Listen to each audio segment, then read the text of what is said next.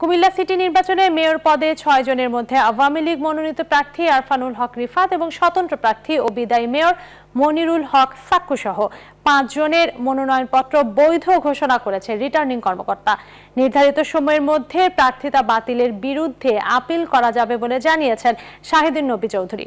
হুমায়ুন কবির জীবনের প্রতিবেদন জানাচ্ছেন শাহালি জয়। তফসিল অনুযায়ী মনোনয়ন যাচাই বাছাইয়ের দিনে সকাল থেকে প্রার্থী ও তাদের প্রতিনিধিরা ভিড় করেন মোগলটুলির জেলা শিল্পকলা একাডেমি অডিটোরিয়ামে সকাল সাড়ে নয়টার দিকে শুরু হয় যাচাই বাছাই। মেয়র পদে আওয়ামী লীগের প্রার্থী আরফানুল হক রিফাত এবং স্বতন্ত্র প্রার্থী ও বিদায়ী মেয়র মনিরুল হক সাক্কু সহ পাঁচজনের মনোনয়নপত্র বৈধ ঘোষণা করেন রিটার্নিং কর্মকর্তা। নির্বাচনী পরিবেশ ভালো থাকলে জয়ের বিষয়ে আশাবাদ ব্যক্ত করেন তারা। আমরা সুন্দর নির্বাচন চাই এবং সবাই মিলেমিশে নির্বাচন করব।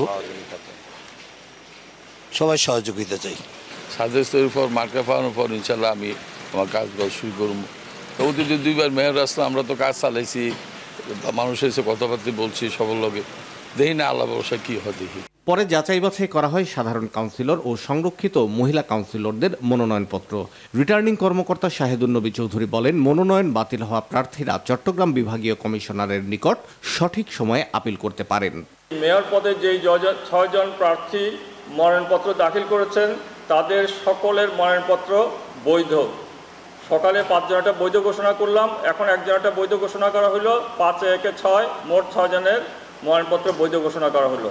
আগামী পনেরোই জুন কুমিল্লা সিটি নির্বাচনে ভোট গ্রহণ। Shah Ali Joy news twenty Dhaka.